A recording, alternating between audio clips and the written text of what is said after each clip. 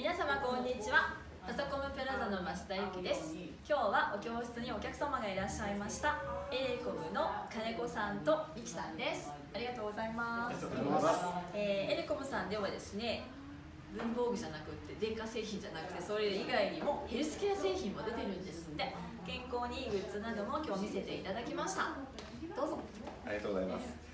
エレコムの金子と申します。エレコムのミキと申します。私たちヘルスケアということで、いろんな新商品を出しておりますので、これをもって皆様の教室を回らせていただきたいと思います。えっと優先的に来ていただきたい方は、ぜひこちらまでご連絡お願いします。ありがとうございました。